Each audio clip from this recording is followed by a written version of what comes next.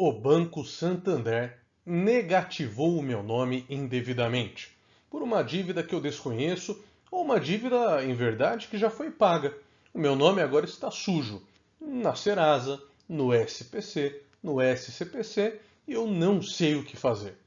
Olha, esse vídeo de hoje ele é um pouco longo, mas é porque eu vou explicar para você, detalhe por detalhe, como resolver essa situação e ainda como ser indenizado em razão dessa negativação indevida. Sim, porque você tem direito não só a limpar seu nome, como a ser indenizado a título de dano moral. Então, assista o vídeo até o final, porque eu vou dar detalhes sobre como funciona todo o procedimento para que você limpe seu nome e seja indenizado. E vamos começar vendo então quais são exatamente os seus direitos.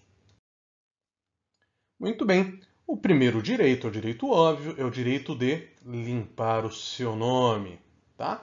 E a gente já já vai falar sobre ah, como funciona, quanto tempo demora para o seu nome ser limpo ah, a partir do momento em que você entra com o processo em razão da negativação indevida. Mas vamos discutir primeiro o seu direito de ser indenizado, tá? Por quê? Sempre que o seu nome é negativado indevidamente, você tem direito a uma indenização em dinheiro que normalmente varia entre 5 e 10 salários, tá?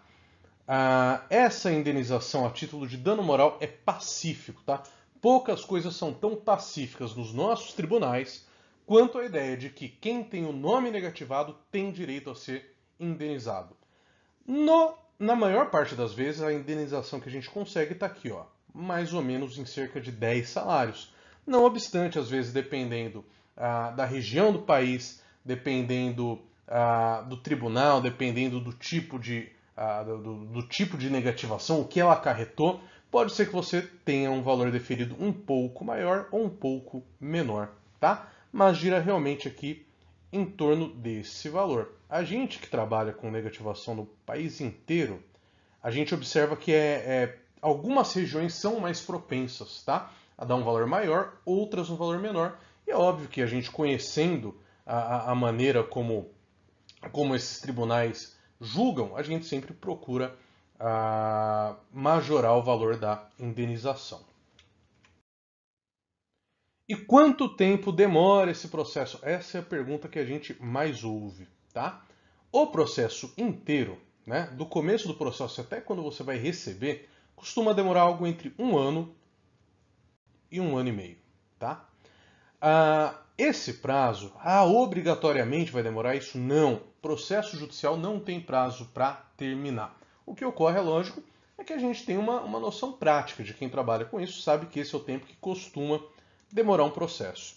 O que, que ocorre? A gente sabe que o consumidor não pode ficar esse tempo todo com o nome sujo, né? esse tempo todo com o nome ah, indevidamente negativado. Então a gente faz um pedido nesse processo chamado de tutela de urgência. É um pedido para que em alguns dias, né, normalmente depois que entra o processo, coisa de 15 a 20 dias, uh, seja limpo o nome do consumidor para aí sim continuar o processo. Tá? Eu te diria que mais ou menos 80% dos juízes, uh, conhecimento prático, tá? 80% dos juízes mais ou menos, eles dão essa tutela de urgência que a gente chama popularmente de liminar para limpar o nome nesse prazo mais ou menos. Só que tem aqueles 20% de juízes que são mais difíceis de, uh, de convencer. E, quando é o caso, nós normalmente fazemos um novo pedido após a apresentação de defesa da empresa, uh, chamado de tutela de evidência, tá? que seria um, um, uma espécie de reiteração, porque normalmente o que ocorre? A defesa que essas, é, essas empresas apresentam não costuma ser boa. Né? Por que, que não costuma ser boa? Porque é realmente indevida a negativação. Então, mesmo o juiz que no começo não se convenceu, não fez parte desses 80%, ele costuma se convencer aqui, tá? E aí a gente consegue normalmente que o nome seja limpo nesse prazo, que é um prazo, obviamente, muito menor do que o prazo que dura o processo inteiro, que é o tempo que você precisa para efetivamente ah, convencer o juiz, ter todos os ritos processuais, recursos e chegar no momento de receber a indenização. Agora, uma questão também que é muito comum aqui para a gente é que muitas vezes a pessoa se confunde, tá? Por quê? Quando você consulta a Serasa, a, o SCPC, o SPC, você tem que ficar atento ao seguinte: algumas dívidas não estão negativadas, tá? Essa aqui, por exemplo, é uma dívida onde está escrito ó, dívida negativada. Isso é uma dívida negativada. Onde está escrito conta atrasada, significa que isso aqui é apenas uma cobrança, tá? E qual que é a diferença entre a cobrança e a negativação? A negativação é vista por terceiros. Então, se o seu nome está negativado, você vai ao banco, pede um empréstimo, eles vão ver que o seu nome está negativado, tá? Agora, quando ah, há uma inscrição de cobrança, você vai lá ah, fazer empréstimo, eles não vão ver que o seu nome tem essa dívida aqui. Essa dívida que consta como conta atrasada, como cobrança, só você pode ver quando acessa o seu perfil da Serasa, do SPC, do SCPC. E o, o que, que para a gente é importante entender? A dívida negativada gera o direito que nós dissemos de indenização. Tá? Agora, a cobrança indevida não gera direito à indenização. É claro que você tem o direito de baixar essa cobrança. Tá? Por quê? Porque ela diminui seus pontos de score.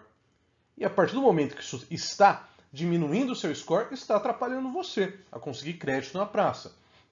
Então é possível sim entrar com processo para que esse, é, essa cobrança indevida seja retirada do seu nome.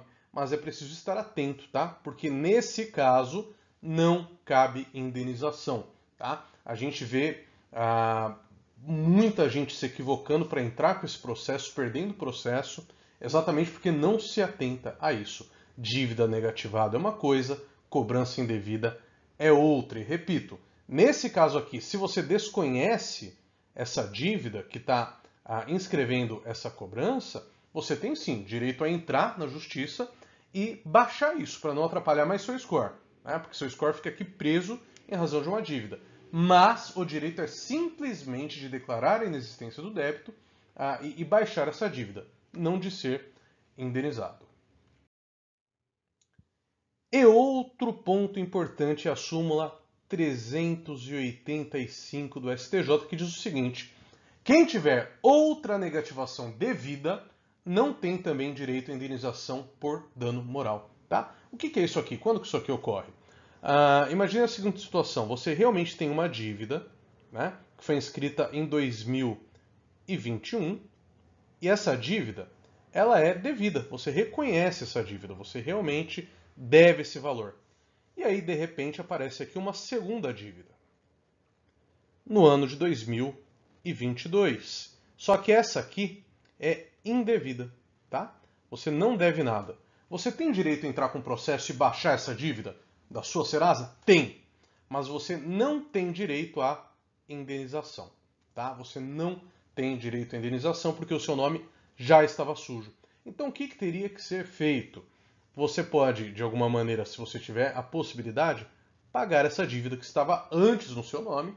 E uma vez paga, quando remanesce apenas a dívida indevida, você volta a fazer jus a quê? Ao direito de indenização, tá? E agora é muito importante entender o seguinte: não importa se a, se a outra negativação, essa aqui que era realmente devida, se ela está no mesmo cadastro no mesmo serviço de proteção de crédito, tá?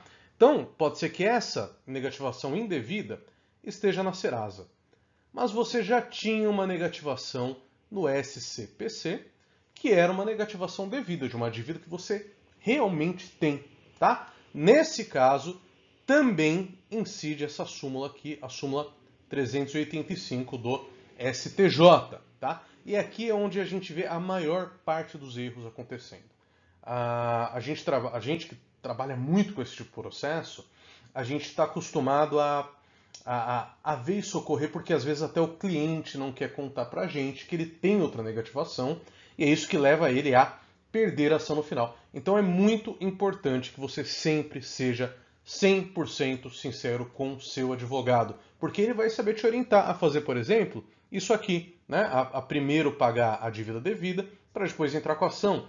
Ou então, é, pode ser que essa dívida aqui, apesar de devida, tenha um erro na inscrição. Aí a gente consegue cancelar essa antes de entrar com a ação para cancelar essa, tá? Então, fica a dica. Sempre veja se você tem outras negativações, tá? Tanto no SPC, quanto no Serasa, quanto no SCPC, e avise isso para o seu advogado. Ele vai saber como resolver essa situação. E temos também o caso que a gente comentou lá no início da manutenção indevida. A manutenção indevida ocorre pelo seguinte: o prazo legal para que uma dívida seja baixada depois que você pagou é de cinco dias, tá? Cinco dias úteis a partir da compensação. Qual que é o problema? Tá aqui na compensação, tá? Porque na maioria das vezes você vai pagar essa dívida por boleto, por transferência, de uma série de maneiras. Então você entra com o processo porque já faz cinco dias e a empresa vai se defender falando: olha, ainda não compensou o boleto, ainda não compensou a transferência. Ela vai achar uma desculpa, tá? Então por isso a gente que trabalha com isso conhece a prática.